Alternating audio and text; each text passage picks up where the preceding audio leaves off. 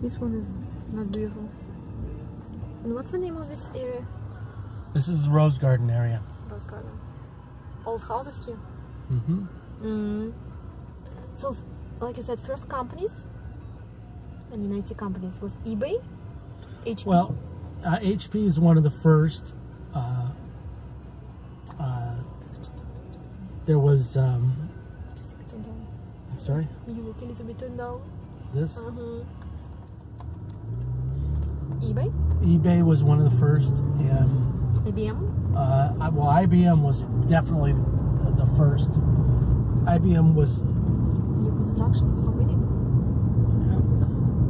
IBM was definitely one of the first. So was Hewlett Packard. Apple actually got started, and then they started to fall apart. Um, then Really? Steve Jobs came back and and, uh, Reinvent. and reinvented them, so to speak. And from there, they just have gone. They've just exploded. They are the big company they are now, but they almost went bankrupt for a Mhm. while. Uh, eBay got started over there in Campbell, In Um, Campbell, mm-hmm. not San Jose. not oh, in San Jose. Well, actually, it's a San Jose. it's a portion of San Jose, but Mhm. it's right outside of Campbell. Mm-hmm. Close to our meeting in uh, Campbell, yes? Close Uh, to. yeah. Mm-hmm. I went there. And then Google, and right now Google has another. Google project? Google is actually relatively new, I mean, at least in my from my viewpoint, because there was Applied Materials used to be really big. Um, there was, um, like I said, Cisco got started; they were huge. Uh, then Google and Facebook both came on about the same time. Mm-hmm. But then I haven't even started naming off any of the high tech uh, medical companies. medical. Yeah, Really? because there's you know there's biotech that is you know pretty big in this area too.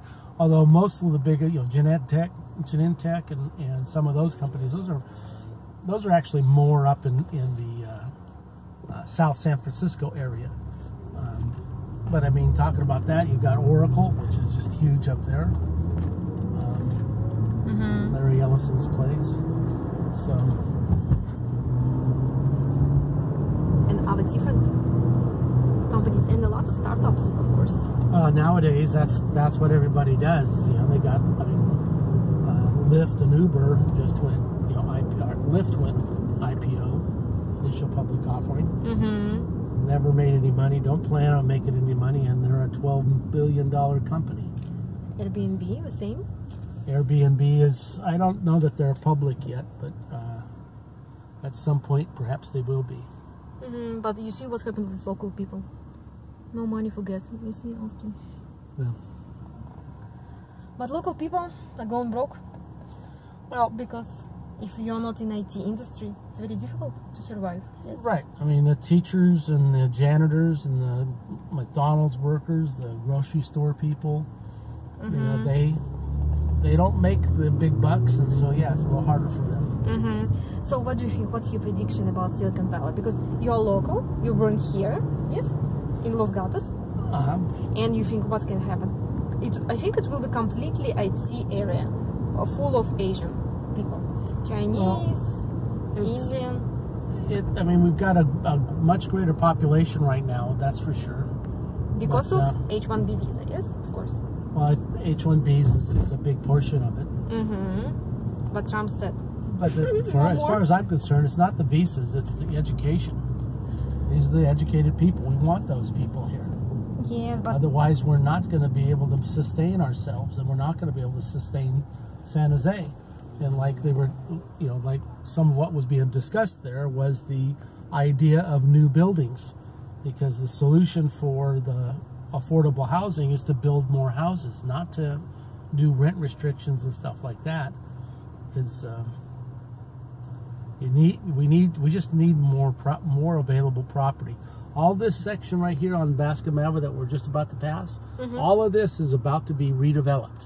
And if you go down Stevens Creek this way to Meridian, you'll see what it's going to look like because back in this area, down the street, um, big local builder Barry Swenson built uh, some high rises down there that are mixed use, and that's what all of this area is going to be like too. Because this is all this is a huge this is pretty much a dead zone. Mm-hmm. Commercial.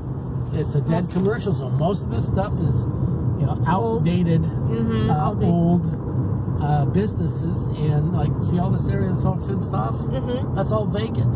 Oh, really? Yeah, Oh, yes, nobody. because this, well, the city's already, you know, got plans on what they're going to do there, so they closed all that stuff out. Mm-hmm. And what will it be? It's probably going to be supply, like this right over here, this big building over here. This is Valley Medical Center. Mm-hmm. That is, you know, that's the big central uh, hospital for our uh, for San Jose. So all that's probably going to be smaller doctors' offices and stuff like Oh, that. we need Moorpark. Could you take Moorpark? Oops, I forgot to take Moorpark. That's Uh-huh. all. That's okay. I know what to do. Mm-hmm. It's college and his medical center. Right. Yes, I know. But population is changing right now. Yes. Mostly.